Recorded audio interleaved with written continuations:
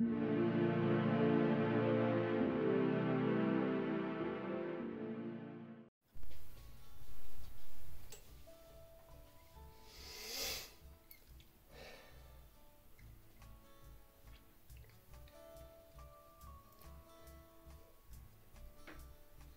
welcome back to the Vintage Swag channel.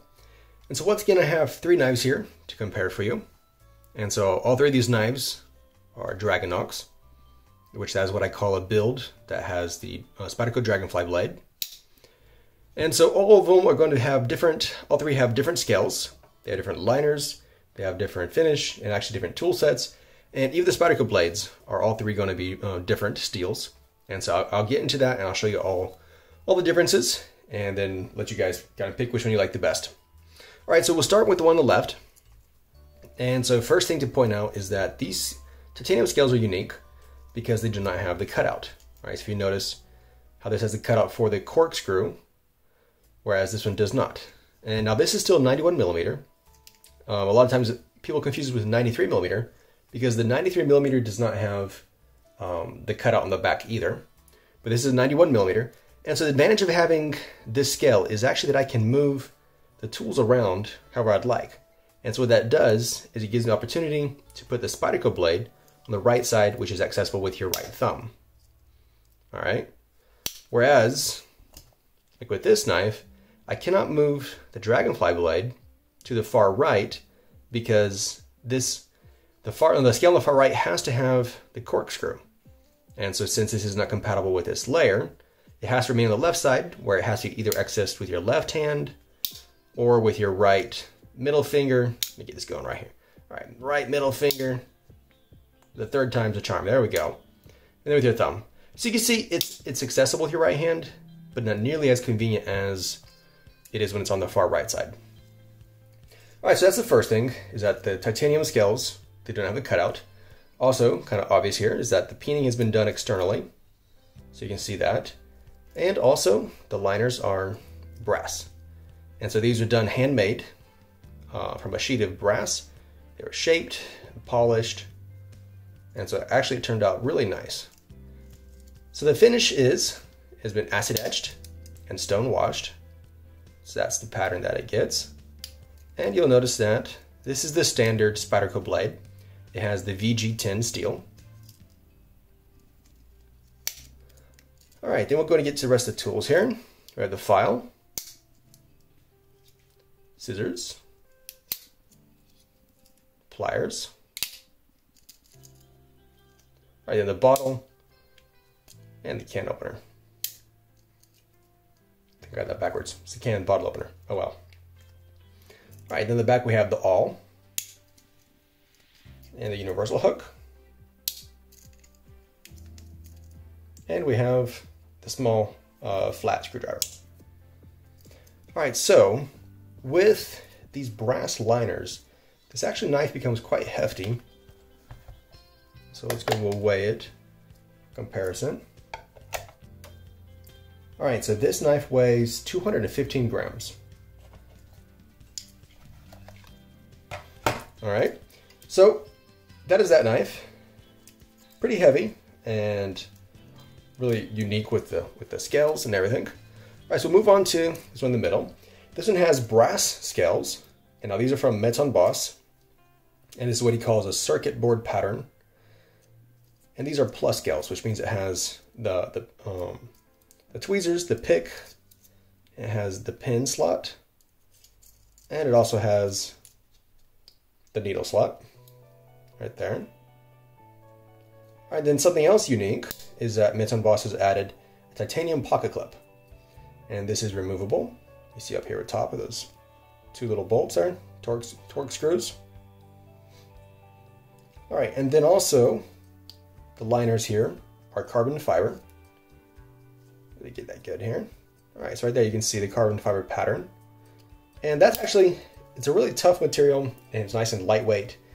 And on the side of the knife, if you look at it, it just looks like it's like black or like a really dark gray. Kind of dark graphite color, I guess would be a good way to describe it. All right, then the finish of this knife, of this build, is actually, it's been acid etched and brass washed. And so that's the pattern that you get. Like the golden specks in it. All right, and then this blade, this is the K390 steel. All right, so you can see right there. And something that I, something else that I've noticed is that the different steels, they actually also acid etch differently. You can see this one is quite a bit darker. And so it's just the way that it react, reacted to the acid. So got some oil here from assembly. All right, then also this build has scissors, has the saw, and it has a, a modified, there we go, let me get this out here. There we go. Has a modified um, original blade. And so I have turned this into a Wharncliffe style basically and serrated at the bottom half. Alright, so you see it's been serrated, it's been reshaped and sharpened.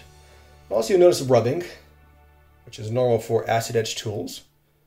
This actually will rub against the secondary tool, which is the combination tool. And you can also see right there where that rubs, which is normal. Even the uh, the original setup, the small blade and the large blade, they actually rub against each other. But with the stainless finish, it makes no difference. Whereas in the acid etch, you get that slight little rub mark. All right, then back we have the corkscrew, and we have a modified awl. The awl is actually intended to go behind the, the can and bottle opener layer. And so what I've done is I've actually, I've ground this down a bit made it just about three millimeters uh, thinner, and that way it fits on the back of the um, on the back of the saw layer. All right, then we also have the parcel hook. All right, so that is that blade. Let me go open up, be comparing that in a bit. Oh wait, we have to weigh that. There we go. All right, so this one weighs 182 grams. All right, one more time. This one was 215. And this one's 182, 83, whatever. All right, so you can tell it's a little bit lighter than this one. All right, and then our third build here this one has carbon fiber scales, which already is going to make it significantly lighter than both of these. And it has gray G10 liners. So again, it's kind of really cool kind of pattern to it. All right, and then this has the acid etched and aluminum wash. All right, so you can see the aluminum wash creates more like silver specks compared to a stone wash. Stone wash is more kind of random uh, kind of pattern to it.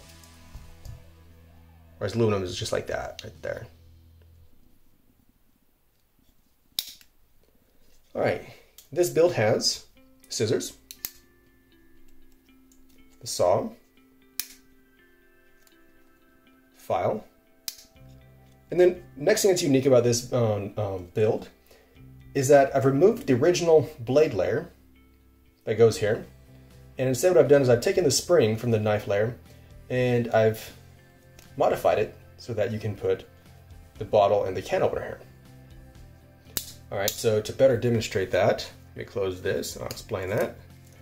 So you can see the bottle and can opener go on the far left side of this knife. That's where they're supposed to go. Whereas on this knife, I have on the far right side. And so what that does is it replaces the, the large blade and small blade. And that's actually a really cool mod because it actually opens up the opportunity to be able to make a bladeless SAK, uh, which is actually what I'm planning to do my next video on, is I'll be making a bladeless Swiss Army knife, which I guess you can't call it a Swiss Army knife anymore. All right, then the back we have the corkscrew. And once again, we have a modified awl on the back of the saw layer. There the chisel. And we have the universal hook. All right, so Let's see, I think I forgot to mention. This blade has the S30V steel. Alright, so you see there, S30V. Alright, now let's see what this weighs.